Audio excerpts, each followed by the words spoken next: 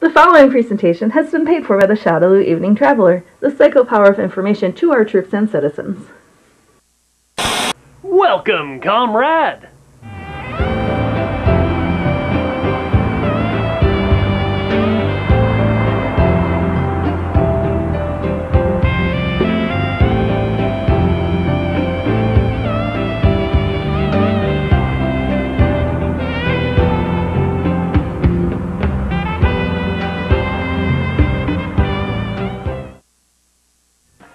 I'm Red Meccano, Senior Executive Vice Senior President of Shadaloo's Department of Treasury. And today, we'll be looking at... Oh, it's an envelope.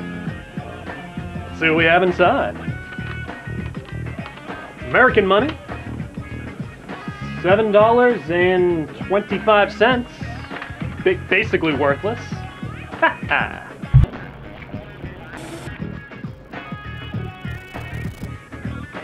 Oh, it, it's America's minimum wage. Really? Now, you'd think a country that prides itself on its imagery of the hard-working, bootstrapped, blue-collar everyman would pay their employees a fair and livable wage in the face of the rising cost of, well, literally everything, especially military spending. But America also takes pride in the exploitation of the working class, so... Ha ha! But seriously, I know there are legitimate concerns raised about raising minimum wage. Like, what about small businesses? How will small businesses be able to pay their employees? Maybe small business owners can get a second job to help supplement their income. Maybe they should consider buying a couple less lattes from Starbucks. Maybe they don't need the latest iPhone model. Or maybe any business, regardless of its size, just shouldn't be allowed to exist if it can't pay its employees a fair and livable wage. Any business that so thoroughly relies on the exploitation of its workers is an enemy of the people.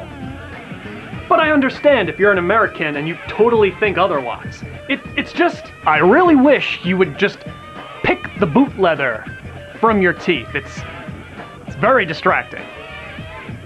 Of course, the other credible argument is that minimum wage isn't meant to be a livable wage. It's meant for teenagers just entering the workforce. Which is why every business in America that employs minimum wage workers is closed from 7 in the morning until 3 in the afternoon. You know, while the children are at school. Wait, they're not closed?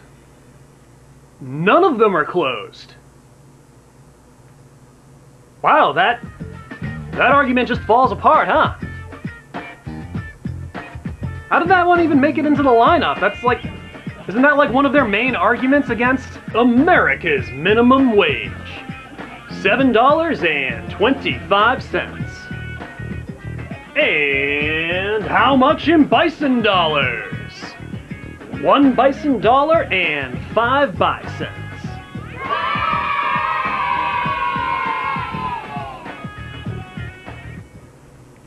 On the plus side, opposition to raising the minimum wage makes it easy to spot the class traitor.